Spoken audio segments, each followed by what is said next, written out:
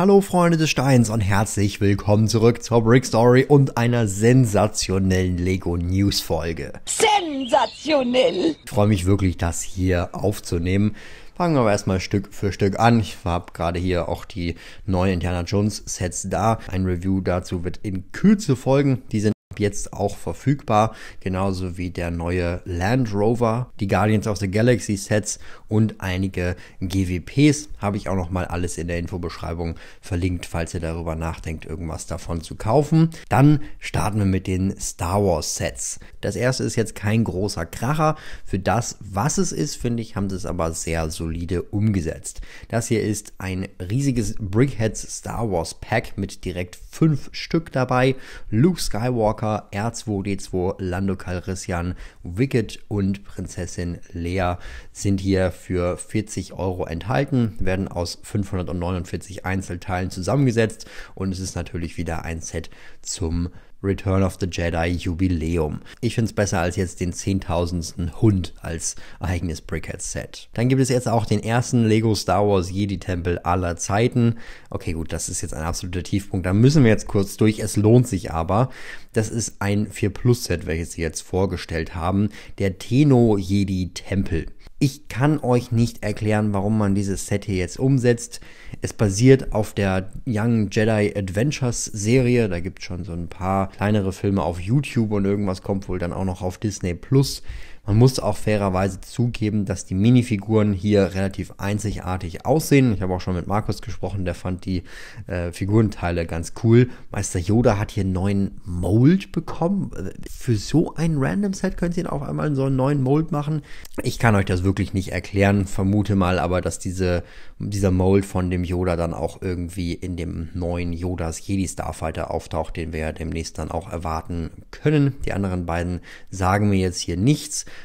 Wie bei einem 4 Plus Set üblich ist natürlich alles bedruckt, aber so viel kann man da jetzt halt auch nicht dran machen. Falls ihr Kinder habt oder so und die mit Star Wars schon was zu tun haben, schreibt mir gerne mal, ob das eine Überlegung für euch wäre. Man braucht aber einen großen Geldbeutel für das Teil. Jetzt haltet euch fest, 124 Teile verkauft Lego hier für 43 Euro.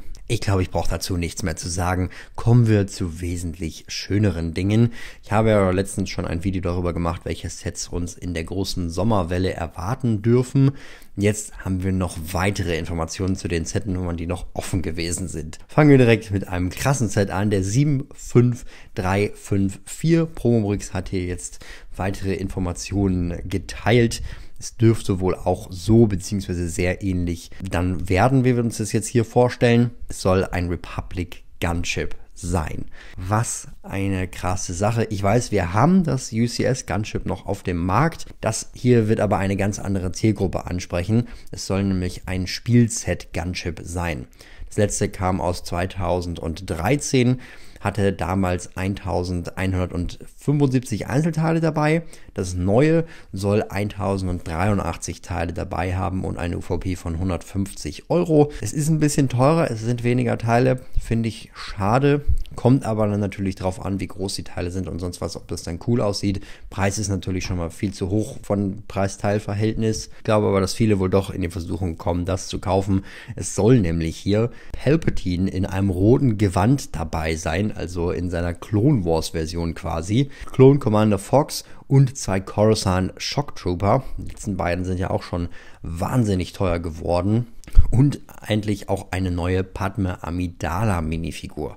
Also das hört sich so dermaßen cool an und es wäre natürlich dann wahrscheinlich auch ein Set basierend auf Clone Wars. Finde ich überraschend, dass es nicht auf Episode 2 basiert, aber ich will mich nicht beschweren. Beim nächsten Set muss ich euch eine kurze Spoilerwarnung geben.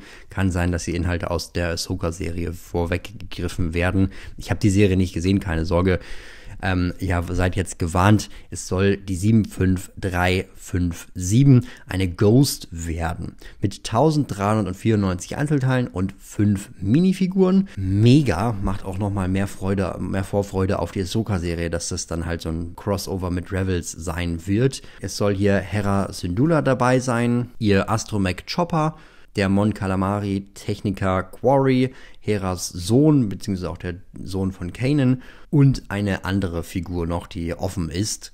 mega, dass sie davon ein Remake machen. Ich weiß, viele von euch dürfen das Teil nicht kennen, aber wenn ihr euch die Preise im Internet mal anguckt, das Teil wird gerade für sehr, sehr viel Geld gehandelt. Dazu kommen aber noch zwei weitere Soka-Sets, die erscheinen trotzdem. 170 Euro sind aber leider auch hier wieder eine krasse Ansage.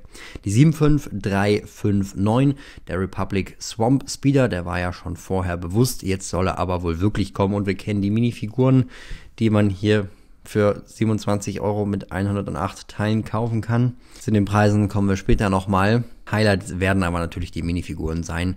Captain Vaughn soll hier enthalten sein, genauso wie noch drei Trooper der 332. Company. Die Figuren allein werden ja heutzutage schon für 27 Euro gehandelt. So kann man sich das schön rechnen. Was Lego da aber wieder treibt, ist natürlich gut, jenseits von Gut und Böse. Das muss man sich bewusst sein. Naja, und viel anderes wird auch nicht bei dem letzten Set passieren.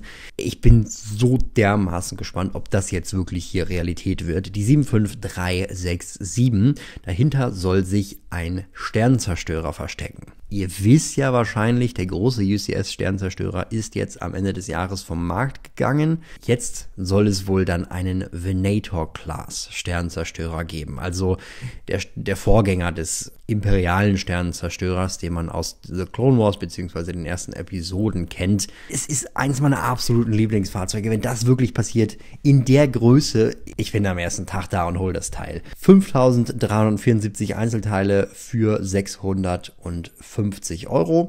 Das sind immerhin 700 Teile ungefähr mehr und bisschen weniger als die UVP damals gewesen ist. Also theoretisch wird es zumindest günstiger je nachdem, wie das Modell dann tatsächlich umgesetzt wird.